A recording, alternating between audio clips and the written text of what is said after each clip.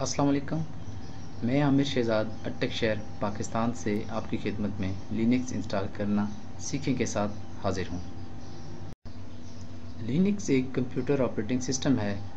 मसलन जैसे कि विंडोज़ या मैक ऑपरेटिंग सिस्टम लिनक्स को इस्तेमाल करना काफ़ी आसान है।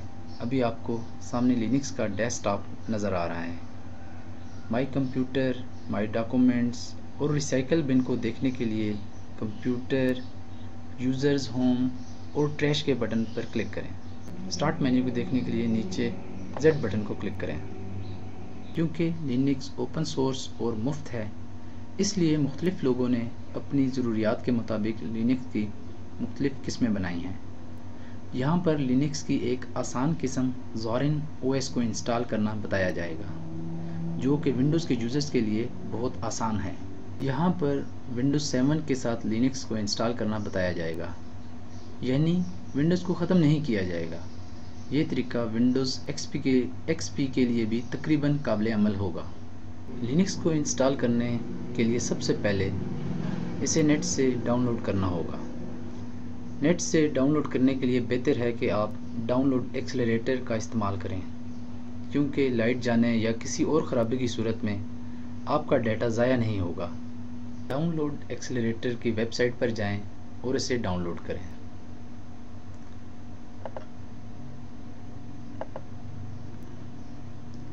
मैं क्योंकि इसे पहले ही डाउनलोड कर चुका हूँ, इसलिए दोबारा डाउनलोड नहीं करूँगा। मगर यह है कि आप लोगों ने इसे मुकम्मल डाउनलोड करना है।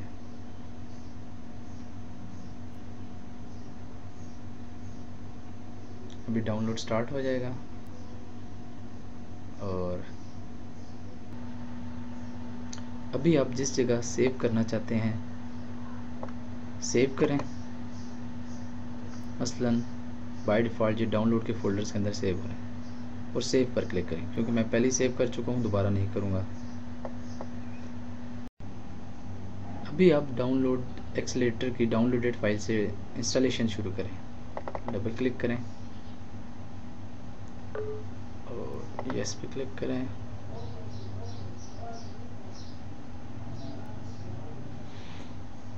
जी, अभी आपने फुल इंस्टॉलेशन सेलेक्ट करनी है। एक्सेप्ट और फालतू चीज़ें जितने भी बीच में आए, उनको बेशक ख़त्म कर दें।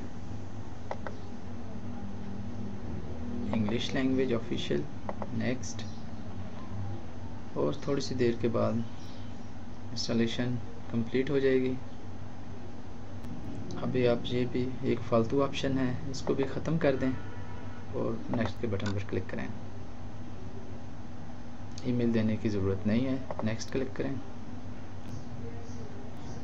ये भी, इसे भी अनचेक करें और नेक्स्ट पे क्लिक करें। ये भी अनटिक कर दें और फिनिश पे क्लिक करें। तो अब आपके पास डाउनलोड एक्सेलेटर इंस्टॉल हो चुका है। ये भी विंडो बंद करें। और डाउनलोड एक्सेलेटर आपके सिस्टम पर चल रहा है। ये इसका आइकन है। डाउनलोड एक्सेलरेटर के इंस्टॉलेशन के बाद आप जारन ओएस की वेबसाइट पर जाएँ और देखें इंफॉर्मेशन जो अवेलेबल है। और डाउनलोड करने के लिए गेट इट पर अपना माउस कसर लाएँ और फ्री पर क्लिक करें। इसका एक प्रीमियम एडिशन भी है, लेकिन वो मुफ़्त नहीं है। आपको कुछ पैसे देकर ख़रीदना पड़ता है। गालबन 10 यूरो अभी आप फ्री पर क्लिक करें। और तफसील यहाँ पर दी गई है।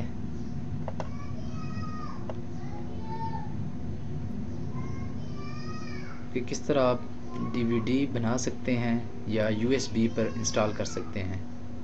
हम इन ताला यूएसबी पर इंस्टॉल करेंगे। यहाँ पर इसकी तीन मुख्तलिफ़ किस्में हैं कोर एडिशन लाइट एडिशन और एजुकेशन एडिशन हम इसका कोर एडिशन डाउनलोड करेंगे। यहाँ पर फिर दो ऑप्शंस हैं 32 बिट या 64 बिट 64 बिट नए सिस्टम्स के लिए हैं, जो 64 बिट को सपोर्ट करते हैं।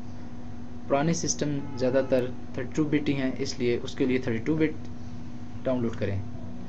क्योंकि मेरा सिस्टम 64 बिट सपोर्टेड है, इसलिए मैं 64 बिट पर क्लिक करूँगा।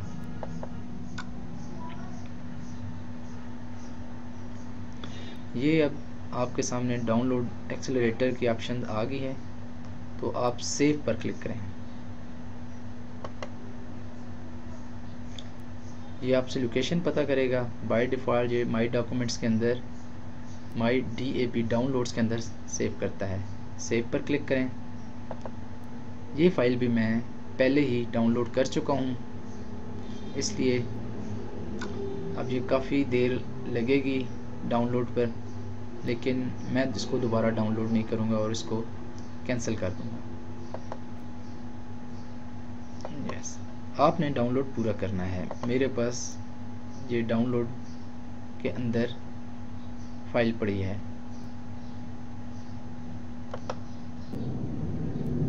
अभी होता ये है कि अक्सर लाइट चली जाती है या कोई सिस्टम में ख़राबी आ जाती है, आपको सिस्टम रीस्टार्ट करना पड़ जाता है। तो डाउनलोड आपका बंद हो जाता है। तो डाउनलोड को दोबारा स्टार्ट करने के लिए या रिज्यूम करने के लिए आप डाउनलोड एक्सीटर को चलाएँ। यहाँ पे उसका आइकन आ रहा होगा या यहाँ पे। इस पर डबल क्लिक करें। और यहाँ पे फाइलों की लिस्ट आ रही होगी जो जो डाउनलोड्स हो रही हैं। अभी क्योंकि सिर्फ़ एक फ़ाइल है, इसलिए एक ही आ रही है। अभी आप राइट क्लिक करें और रिज्यूम डाउनलोड पर क्लिक कर दें। तो आपकी डाउनलोड वहीं से शुरू हो जाएगी जहाँ पर ख़त्म हुई थी। क्योंकि मैं जैसे कि बता चुका हूँ, मैं पहले डाउनलोड कर चुका हूँ, इसलिए मैं कैंसिल पर क्लिक करता हूँ। दोबारा। DAP या डाउनलोड एक्सेलरेटर प्लस की एक ऑप्शन जो कि अच्छी भी है और बुरी भी, मुझे बुरी लगती है क्योंकि हर दफ़ा विंडो स्टार्ट होती है तो डाउनलोड एक्सेलरेटर स्टार्ट हो जाता है और विंडोज़ के स्टार्टअप पर लोड पड़ता है, बोझ पड़ता है।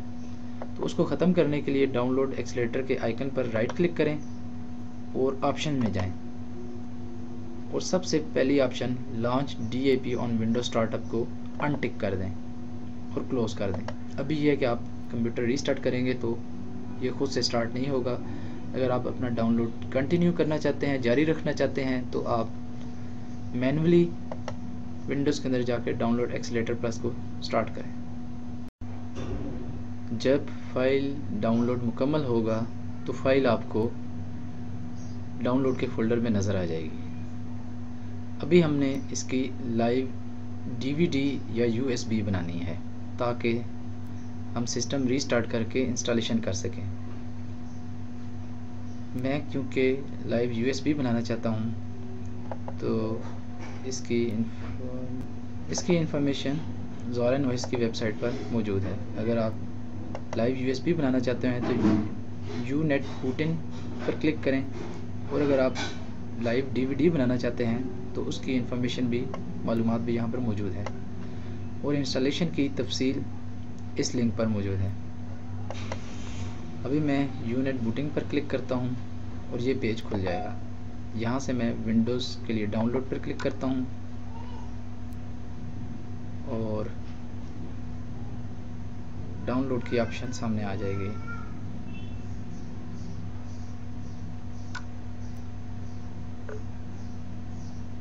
ये क्लिक किया डाउनलोड फ़ाइल अभी आप जो भी फ़ाइल डाउनलोड करेंगे तो डाउनलोड एक्सेलरेटर सामने आ जाएगा डाउनलोड मुकम्मल करने के लिए। वैसे तो आप कैंसिल भी कर सकते हैं, लेकिन बेहतर है कि आप डाउनलोड एक्सलेटर से ही डाउनलोड करें, क्योंकि इससे जल्दी डाउनलोड हो जाएगा। तो मैं सेव पर क्लिक करें, करता हूँ। और जगह मंतखब की और सेव पर क्लिक किया। क्योंकि ये भी मैं पहले डाउनलोड कर चुका हूँ, इसलिए मैं कैंसिल पर क्लिक करूँगा।